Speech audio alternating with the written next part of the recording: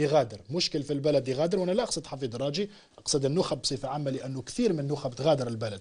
إذا كان كل واحد لقى مشكل يغادر يا حفيظ شكون مثلا يطور البلد؟ يعني أن هناك استراتيجية لتهجير الكفاءات في الجزائر. هناك استراتيجية مقصودة أو غير مقصودة آه، بطريقة أو بأخرى لتهجير كل الكفاءات لأنها في وقت ما تصبح تحرج وتصبح تقلق لأنه ما هو موجود اليوم في الجزائر.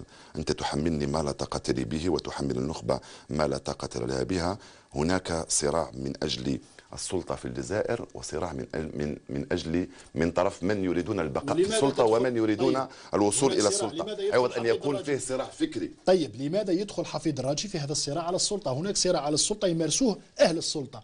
هل بالضرورة حفيد راجي يدخل في هذا الصراع؟ هذا الصراع ينعكس علي وعليك وينعكس على المواطن البسيط لأنه آه، ما أشاهده يوميا وما أشعر به هو فقط صراع من أجل السلطة وصراع من أجل توزيع الريع وصراع من أجل الشراء وصراع من أجل شراء ذمم الناس وليس صراع من أجل نشر فكر معين أو من أجل مشروع مجتمع معين يعني نريد أن يصل به بعد 20 سنة